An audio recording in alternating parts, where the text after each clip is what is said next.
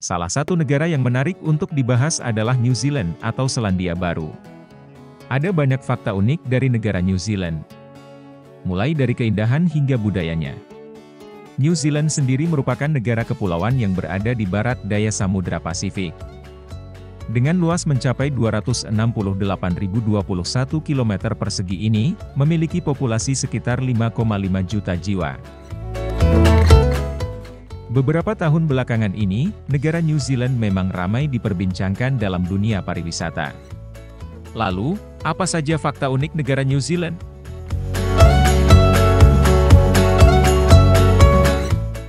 Jadi negara terindah ketiga di dunia.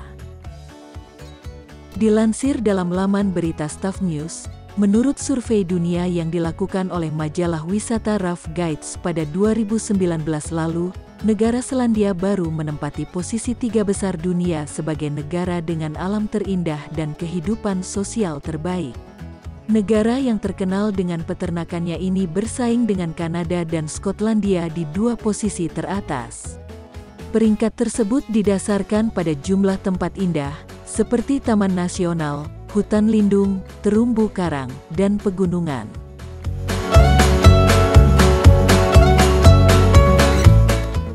Fakta unik selanjutnya, negara New Zealand adalah negara makmur dan nyaman bagi penduduknya.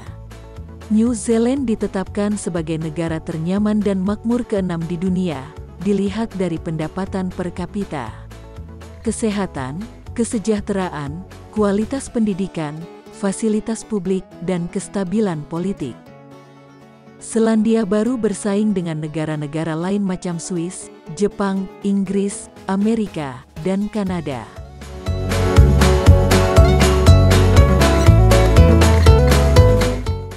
Jadi negara yang sangat aman.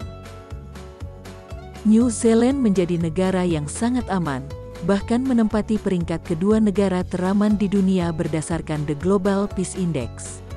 Selain aman dari sisi kriminalitas dan konflik internal, New Zealand juga memiliki alam yang sangat aman.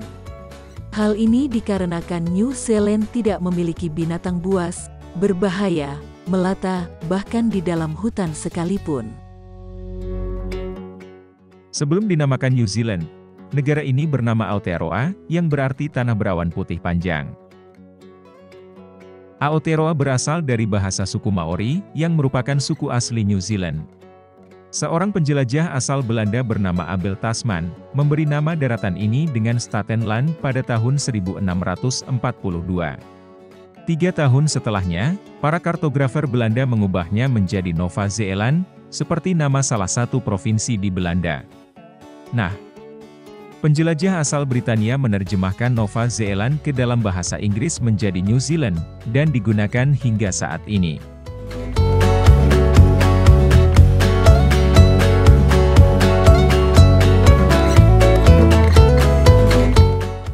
Menjadi salah satu negara dengan industri pertanian dan peternakan terbesar dunia. New Zealand merupakan negara yang cukup unik karena hanya dengan luas tanah yang tak seberapa, tetapi mereka mampu menghasilkan produk pertanian dan peternakan terbaik di dunia. Ya, menurut laman Statista, New Zealand masuk ke dalam daftar negara penghasil produk pangan terbesar di dunia. Produk utamanya adalah susu dan daging domba, sapi, dan juga babi. Produk-produk pangan New Zealand sudah banyak diekspor ke seluruh negara dengan pangsa pasar terbesar Asia, Eropa, Amerika, dan Australia. Para petani dan peternak di New Zealand juga terkenal modern dan sanggup menyediakan produk sesuai dengan permintaan pasar. Selain itu negara New Zealand memiliki jumlah domba lebih banyak dari jumlah penduduk. Pada tahun 2021 populasi domba mencapai 26 juta ekor. Sementara penduduk New Zealand hanya sebesar 5,5 juta jiwa. Memiliki hewan endemik yang unik. Salah satu hewan endemik asal Selandia Baru adalah burung kiwi. Menurut laman Animalia, burung kiwi dianggap sebagai hewan yang unik. Selain tidak bisa terbang, burung kiwi bisa menghasilkan telur yang berbobot sepertiga dari ukuran tubuh induknya. Burung kiwi juga dianggap sebagai salah satu spesies paling pasrah di dunia. Untung saja Selandia Baru sudah menjadi habitat yang nyaman bagi mereka.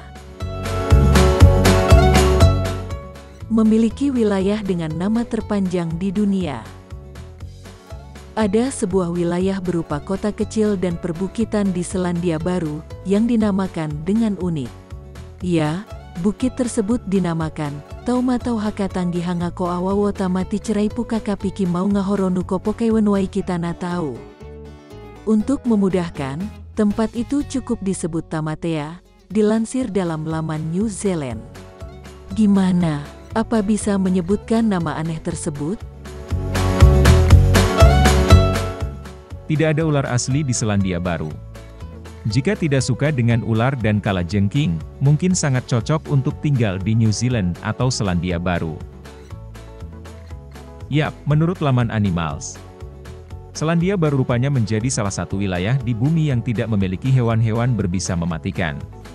Andai pun ditemukan ular, kemungkinan ular tersebut dibawa dengan sengaja oleh orang-orang di luar Selandia Baru.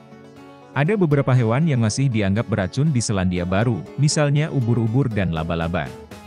Namun, jumlah mereka sangat sedikit dan jarang sekali ditemukan. Kondisi tersebut bisa terjadi karena pulau-pulau di Selandia Baru memang terisolasi sejak zaman purba, sehingga tidak memberikan kesempatan bagi hewan reptil berbisa untuk berevolusi dan berkembang. Itu tadi beberapa potret dan fakta mengenai Selandia Baru, sebuah negara yang makmur, nyaman, aman, dan tentu saja tidak ada ularnya. Tentu ini fakta menarik untuk diketahui.